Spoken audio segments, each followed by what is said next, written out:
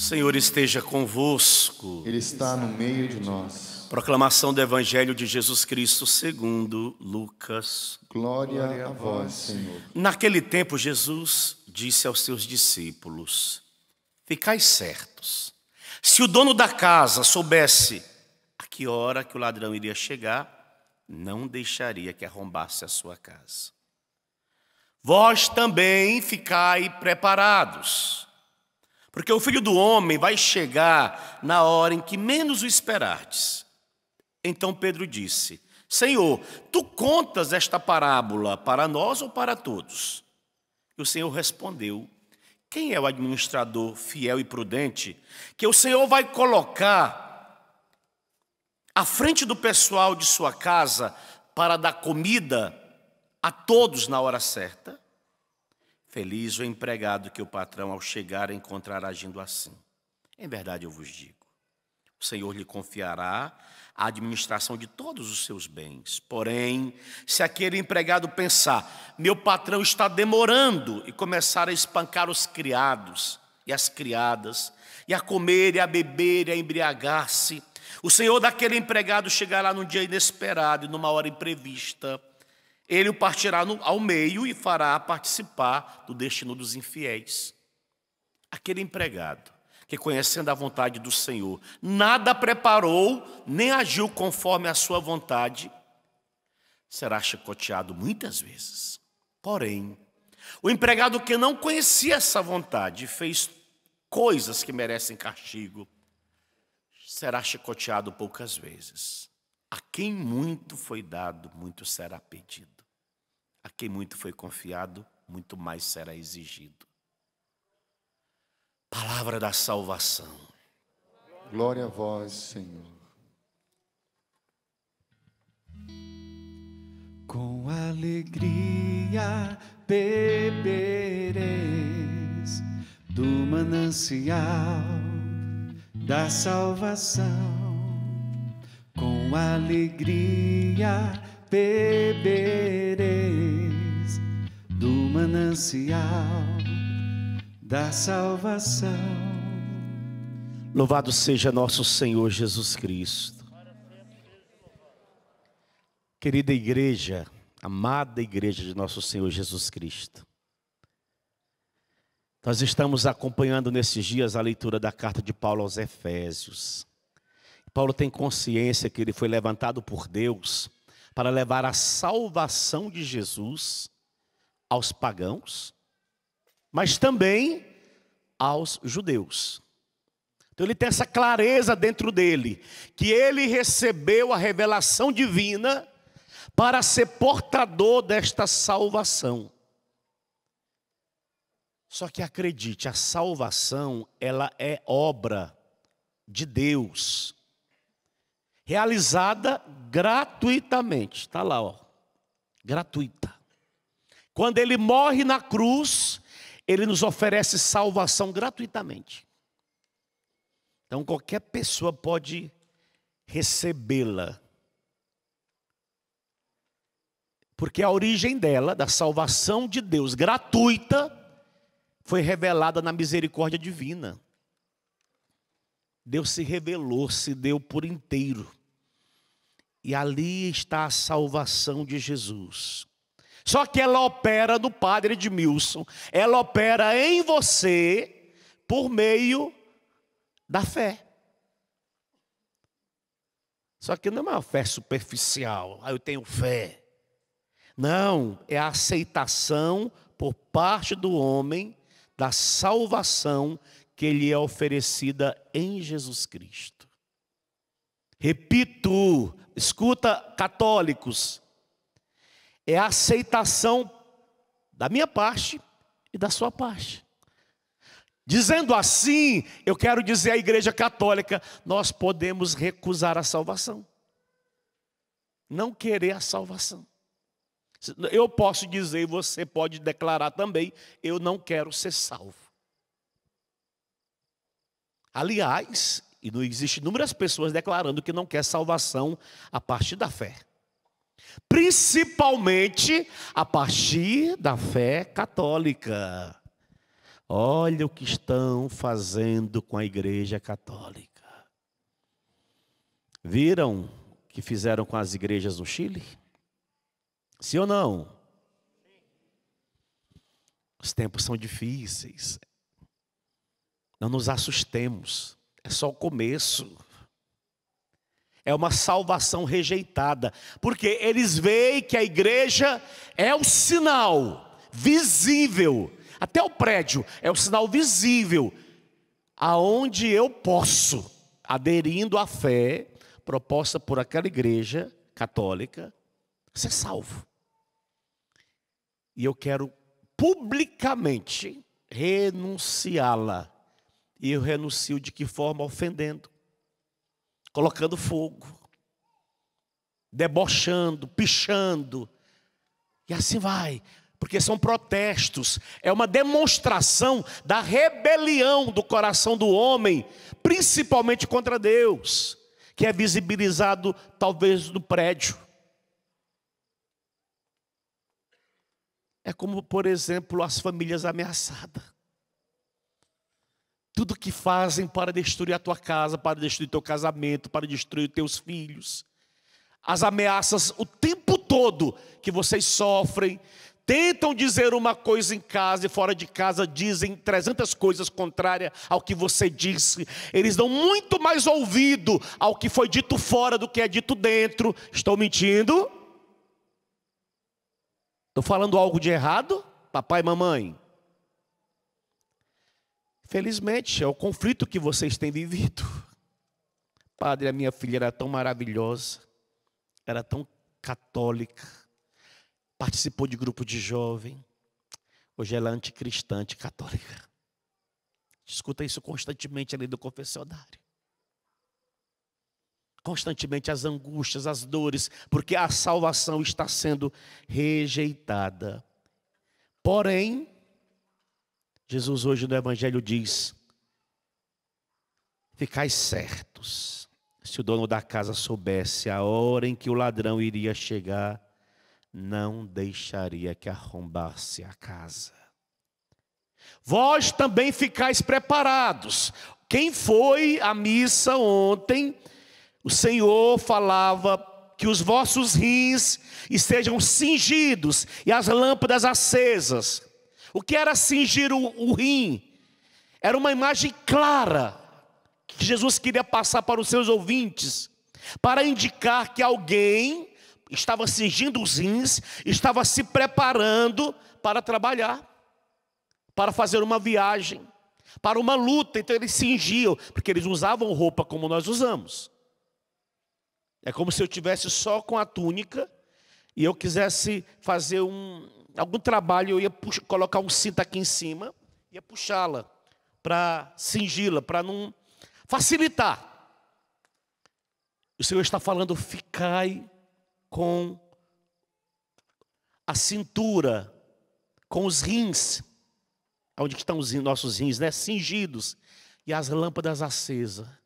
Por que, que ele chama a nossa atenção para as lâmpadas acesas? Atitude própria do que vigia espera a vinda de alguém. Lembra da parábola das dez virgens? As prudentes e as imprudentes? As prudentes tinham azeite, ainda tinha reserva. As imprudentes só tinham o azeite da lamparina.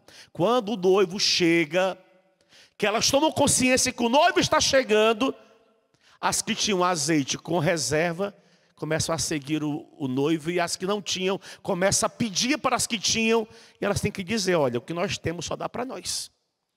Então as cinco prudentes entram, porque estavam preparadas, e as cinco imprudentes ficam de, da porta para fora.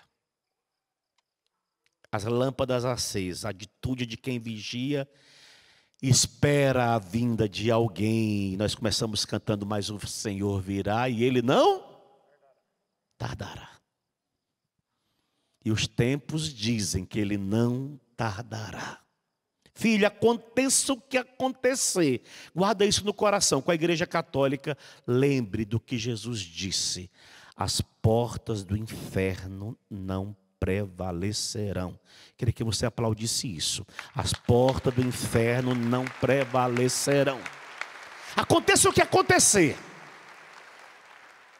o inferno não vai conseguir vencê-la. Por quê? Porque ele é o fundador.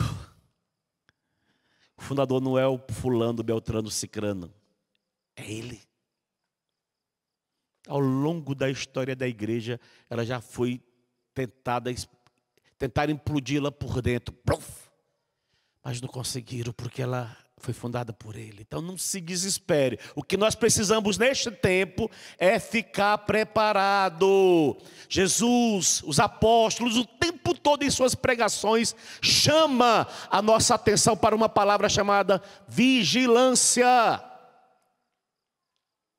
Vigilância. E por que vigilância? Porque Pedro vai dizer lá na carta 1 Pedro capítulo 5, versículo 8, você diz, sobres e vigiai, eis que o vosso adversário, o diabo, como um leão que ruge, vos ronda procurando a quem devorar. E ao mesmo tempo, por quê? Porque por outro lado, quem ama nunca dorme, mantém-se acordado o tempo todo na expectativa do Senhor que vem. Olha para o seu irmão aí do seu lado e diga para ele: quem ama nunca dorme. Porque até no sono o coração está vigiando. Olha que interessante, nós padres que rezamos a liturgia das horas, rezamos uma, uma hora que se chama completa, que é a última da noite. Ela é bem curtinha, é um salmo, uma leitura breve, uma antífona, um cântico evangélico e a oração final. Essa é a nossa a estrutura da liturgia das completas. E a gente reza pedindo ao Senhor no finalzinho da noite, para que se por acaso a gente vier a óbito, que o nosso coração esteja nessa vigilância, pronto, pronto para ir com Ele. Porque até durante o sono o nosso coração não dorme, ele vigia. Porque o Senhor vem. Como manter a vigilância, Padre? No espírito de oração, filho. E na fortaleza da fé. É receitinha prática. Como manter essa vigilância? Rezando. Rezando. Como? Do seu jeito. Na Canção Nova, eu gosto dessa palavra dentro da nossa espiritualidade, que é bem diferente de tantas outras comunidades, de tantos outros movimentos, o padre definiu a espiritualidade da canção nova como a, nossa oração, a oração no ritmo da vida, para dizer, nós não precisamos sair do ritmo para na nossa canção nova, né? Do ritmo para rezar, mas no ritmo rezamos. Eu quando precisei fazer academia lá em Campo dos Goitacazes, até na academia eu rezava na esteira lá correndo e rezando. Eu consigo rezar o texto só na mente, então eu ia re... correndo e, e contemplando os mistérios e rezando os dedos. Para dizer, até numa esteira, se eu quiser, porque quem ama não dorme, vigia. Estou na vigilância. Porque a ordem de Jesus para nós hoje é esta: ficai preparados. Ficai preparados, irmãos. Nós não sabemos a que hora o ladrão virá. Nós não sabemos. Se soubéssemos, meu Deus, eu tenho certeza absoluta que o santuário soubesse que Jesus ia voltar amanhã, todo mundo se prepararia hoje para esse encontro. Estou errado? Está fraquíssimo. Acho que é, é a máscara na cara de vocês. Estou errado? Não. Nós nos prepararíamos, com certeza. Quem precisava confessar, eu acho que eu nem ia embora hoje, porque você ia ficar aqui me acatar ali, padre, por amor de Deus, me confessa. Porque eu quero estar preparado, ele vai vir amanhã. Mas como nós não sabemos, a ordem é ficar preparado todo dia. Hoje eu tenho que estar preparado. Amanhã eu tenho que estar preparado. Nós temos um movimento interno da comunidade chama Jornada. Eu fiz, a Cris fez, né? Online, fizemos online esse ano. E quando teve a primeira pregação da manhã, o padre que pregou, o padre Wagner, dizia de organizar a casa. Na hora do meu deserto, eu fui para a capela adorar Jesus e rezar ali com tudo que foi pregado. O Senhor me levou lá para o meu quarto. E o Senhor me mostrou a bagunça que estava no meu quarto. Fiquei até com vergonha. Aí o Senhor me disse: Como o teu quarto está bagunçado, a tua alma também está bagunçada. Aí o meu exame de consciência, meu deserto foi fazer o exame de consciência, escrevi tudo. E fiquei esperando um padre para me confessar. Olha, eu não dormi aquela noite enquanto o padre me atendeu em confissão. Por quê? Porque eu coloquei a minha alma em ordem e o meu quarto também está arrumadinho. Porque eu não sei que hora que o Senhor virá. E o Senhor que me disse, na hora que eu sentei na capela, como o teu quarto está desorganizado, a tua alma também está desorganizada, Padre. Filho, se a tua alma está desorganizada, coloque ela em ordem. Mas também se sua casa está desorganizada amanhã, dá uma faxinão, uma arrumadona lá também. Porque ajuda, o externo ajuda a dizer do interno. Porque quem ama não dorme. Amém? Vamos ficar de pé. Eu senti hoje de dizer a você, cantando que Deus está aqui nesse momento, que a presença dEle é real.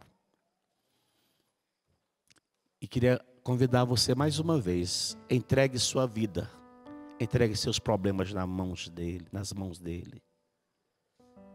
Porque ele cuidará de você. Ainda se vier uma noite traiçoeira. Se a cruz ela pesada for, filho, filha, ele vai sempre estar contigo, sempre. Sempre. Acredita. Acredita.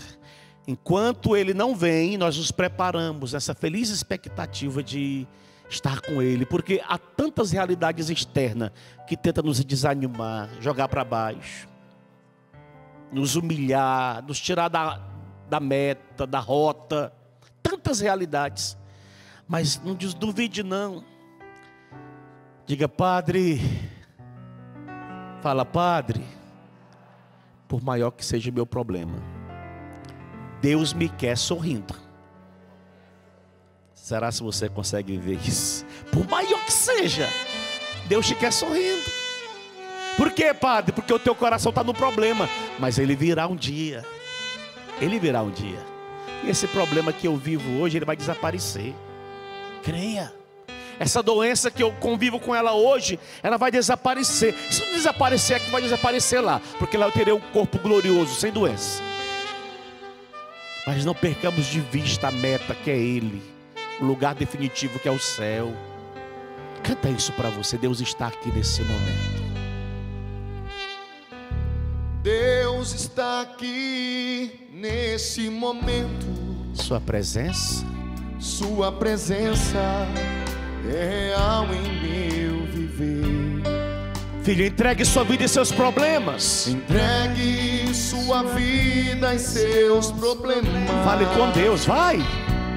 Fale com Deus. Ele vai ajudar você. Ele vai ajudar você. Abra seus braços para ele e diga: Deus te trouxe aqui para aliviar teus sofrimentos. Deus te trouxe aqui para aliviar os seus sofrimentos. É Ele o autor da fé, do princípio ao fim, em todos os teus tormentos. Ele é autor da fé. Olha aí, do princípio ao fim de todos os seus tormentos. salta a sua voz e declara: Ainda se vier, E ainda se vier noites traiçoeiras, convite, se a cruz pesada for, creia.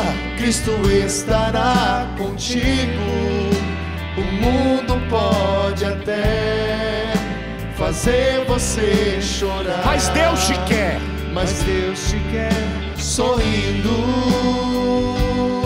Santuário do Pai, declara. E ainda se vier noites traiçoeiras, Se a cruz pesada for, Cristo estará contigo. O mundo pode até fazer você chorar, mas Deus te quer sorrindo. Olha, o apóstolo Paulo tinha tudo para desanimar. Ele viveu inúmeras experiências difíceis. Que ele poderia muito bem dizer: Eu não aguento mais, eu não vou mais anunciar Jesus, eu não quero mais esse Jesus na minha vida, porque eu tento levá-lo e só levo pancada, pedrada. Porque ele viveu isso na vida dele. Desprezo, tem que fugir no cesto, porque ou ele foge ou ele morre.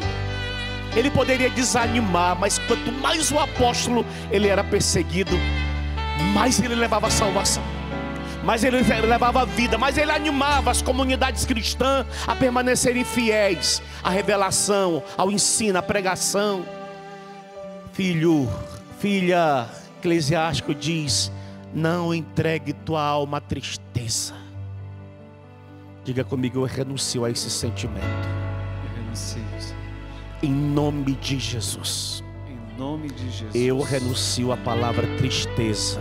Eu renuncio à palavra tristeza. E se ela tem gerado depressão, Se ela tem gerado se ela tem oprimido a minha alma, se ela tem oprimido a se ela tem me jogado no mais profundo, se ela tem me jogado no eu mais- renuncio eu renuncio em nome de em Jesus, nome de Jesus. porque eu estou tomando consciência Porque eu estou tomando que consciência independente da circunstância, independente da circunstância, Deus me quer sorrindo.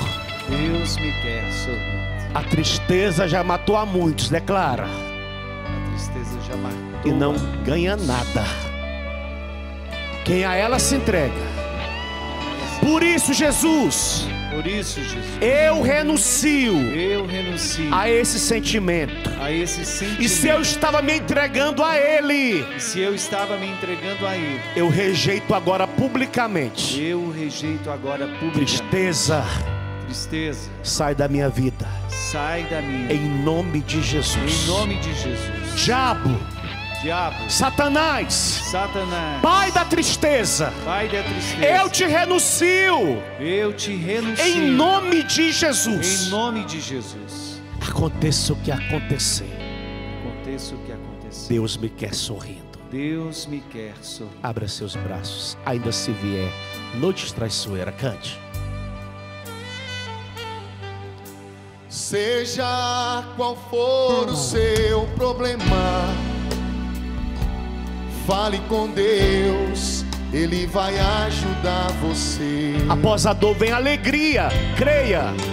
Depois da dor vem sempre a alegria. Pois Deus é amor.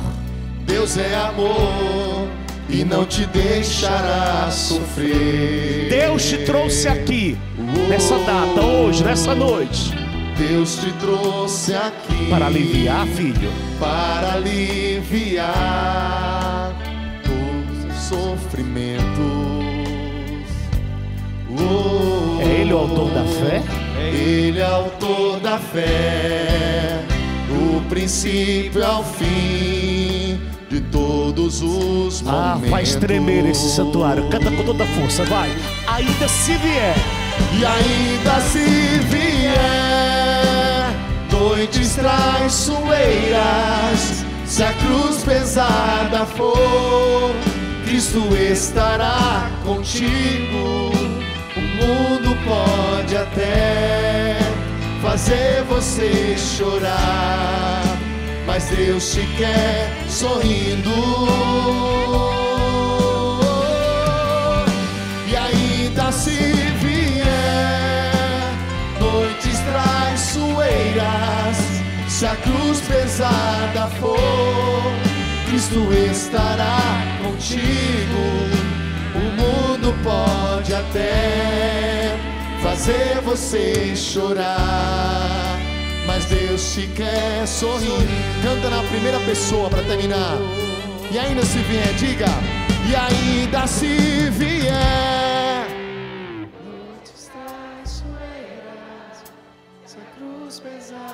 Cristo estará comigo. Cristo estará comigo. O mundo pode até fazer-me chorar. Mas Deus me quer, mas Deus me quer sorrindo. Pega o seu braço, diga. E ainda se vier noites traiçoeiras, se a cruz pesada for comigo, Cristo estará comigo. O mundo pode até fazer-me, fazer-me chorar, mas Deus me quer sorrindo. Aplauda ele, vai. Recebe Deus. Recebe, nós entendemos tudo.